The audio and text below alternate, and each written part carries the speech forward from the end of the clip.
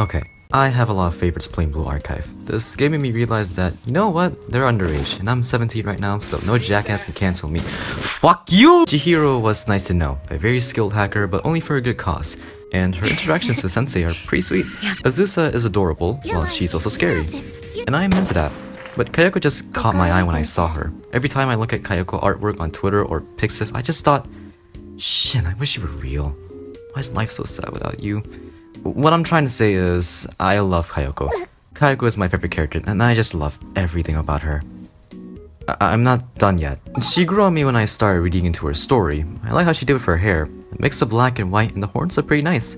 Then I got to the New Year variant, and I just ascend. This girl has done nothing but bring me happiness, and the more I think about her, the more I just want to marry her. Of course, I have a lot to say why, though it's pretty obvious since. Well. That doesn't matter, I'm gonna make my own version either way.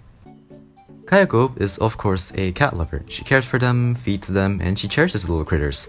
Just look at them. Adorable little devils. Whenever she sees a cat, she just can't help but pet it. I mean, I love cats too. Just look at me, I'm feeding 30 cats in this damn house. There's one cat with 7 children of her own. Some of them got their male privileges taken because they decided they like incest. She loves everything about cats. And I feel the same too. She probably goes to a ton of cat cafes often. I totally go out for her. It's scary at the outside, but is actually a sweetheart in the inside trope. It's my favorite trope. A lot of the NPCs thought of her as a really scary person, since she is part of the Problem Solver 68 group, and I'll admit, she does catch off that vibe. The hoodie with the Born to Kill text on it, the cold look at first glance that could likely mean you're dead in 2 seconds. There was even one time where an NPC thought she was a higher up from some underground organization and picked out the expensive looking kimonos. Then I went into her story more, got her L2D, and told myself, God, you're so sweet. She cares for the problem solvers, and she would usually clean up the office before they arrive. She also doesn't mind company. Okay, for real, Yukio did an amazing job with her voice. Her voice is a gift from the heavens. I love voices that could just put me to sleep.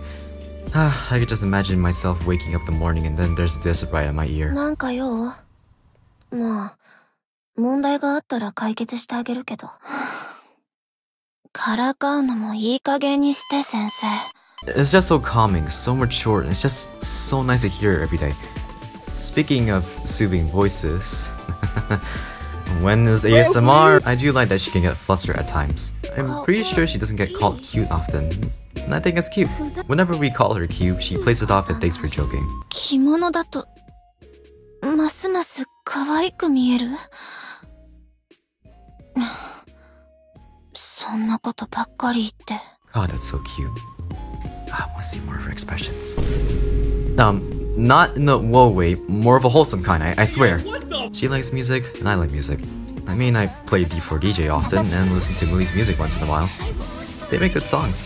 And her favorite genre is heavy metal, which isn't really uncommon, and I listen to metal sometimes. It's not just metal she likes, she likes a lot of kinds.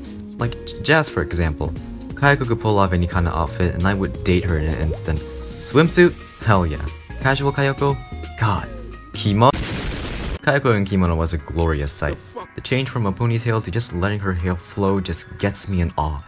Mostly black suits her too. Even the flower on her hair was a nice touch, and her New Year L2D shows his beauty. Very beautiful. So adorable.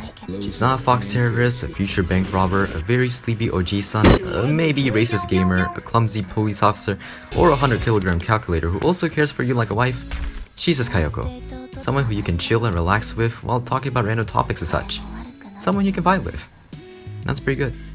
And that's all I had to say of why I really love Kayoko. Chill and really cute girl. I got nothing more to say. I hope me blabbering about how much I love Kayoko entertain you a bit. I- I'm sure many people feel the same thing about Kayoko. If you like her, nice. I love Kayoko, and I will continue to love her no matter what. She's also good for. Hi, hello. I'm not reading a script this time, so it's just me talking about stuff. Uh, Yeah, that's that's what I'm most gonna do. Honestly, this was a bit more tiring than I thought editing this video, and my PC could not keep up with all the clips and stuff I've been adding. So, uh, yeah, I've just been working on this for the past few days. Um, yeah. Honestly, I could have posted this by the time Ioe's favorite Blue Archive character thing, and I was definitely pretty late posting this, but you know what? I just thought, you know what? I'm feeling schizo today, so why not just talk about Kayoko for just a few minutes? And uh, here we are. Yeah, I just felt like talking about Kayoko just for a few minutes. You know, because she's nice. Yeah. So, uh, that's all I have to say. Um, bye.